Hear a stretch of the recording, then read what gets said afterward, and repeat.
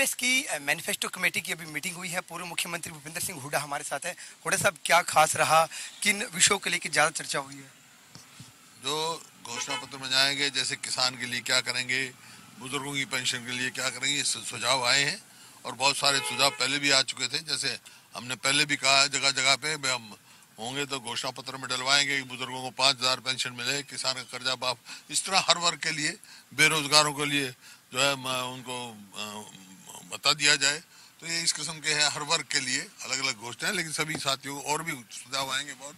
सुझाव आने के बाद सब पच्चीस तारीख तक सुझाव मांगे और सत्ताईस तारीख को फिर मीटिंग है फिर उसके बाद फाइनल करेंगे। साहब बेरोजगारी दर हरियाणा में बहुत बढ़ गई है। उसको लेकर कोई खास प्लान किया है कि आपकी तरफ़ से कि युवाओं को क्या रहने वाला है?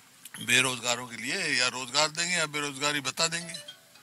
बिल्कुल ये थे पूर्व मुख्यमंत्री भूपेंद्र सिंह हुडा जिन्होंने कहा कि आज जो मैनिफेस्टो कमेटी की जो मीटिंग हुई है, उसके अंदर तमाम सुझाव आए हैं। उन पर चर्चा की जाएगी, चाहे युवाओं की बात करें, चाहे रोज़गार की बात करें, चाहे किसानों की बात करें, इन तमाम मुद्दों पर चर्चा की गई है और 25 तारीख को अगली मीटिंग होगी, उसमें तय किया जाएगा कि मैनिफेस्टो में, कांग्रेस के मैनिफेस्टो में क्या क्या खास रहने वाला है।